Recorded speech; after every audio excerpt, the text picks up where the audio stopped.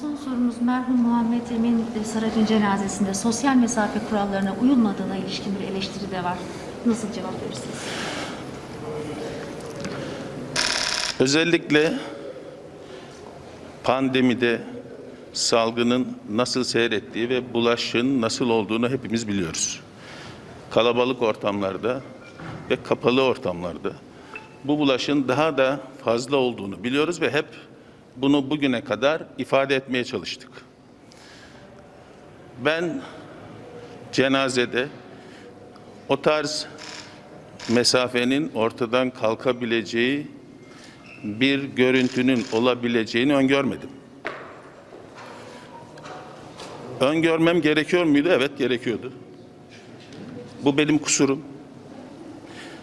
Vatandaşımızdan bu anlamda özür diliyorum. Bizler 83 milyon olarak herkes eşit fedakarlık göstererek pandemi döneminde mücadeleye katkı sağlamalı. Yani kapalı ve kalabalık ortamlardan uzak durmaya gayret göstermeliyiz. Teşekkür ediyorum.